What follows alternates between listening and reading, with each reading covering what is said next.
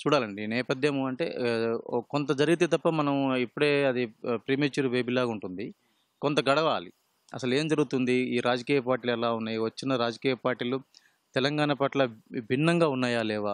గతంలో పనిచేసిన రాజకీయ పార్టీలకు, ప్రభుత్వంలో ఉన్న రాజకీయ పార్టీ చేసే విధానాలకు వ్యత్యాసం ఉందా? లేదా? ఇవన్నీ కూడా ఆలోచించి అప్పుడు చేయాల్సిన అవసరం ఉంటుంది. నిజంగానే అద్భుతమైన ప్రక్షాళన జరిగి, అద్భుతమైన రాజకీయ పార్టీ ఆధిపత్యంలోకి వచ్చి అధికారంలోకి వచ్చి ప్రజలందరికీ కూడా మంచి చేసే అవకాశం ఉంటే, మనం దాన్ని సమర్థించాల్సిన అవసరం కూడా ఉంది. తన ఓటును తను సద్వినియోగపరచుకోవటం వల్ల ప్రశ్నించే హక్కుని కాపాడుకోవాల్సిన అవసరం ఉంది. ఎందుకంటే, వెయ్యికో, వందకో, బీరుకో, బిర్యానీకో ఓటేయటం వల్ల ప్రశ్నించే హక్కును కోల్పోతున్నాడు ఓటరు.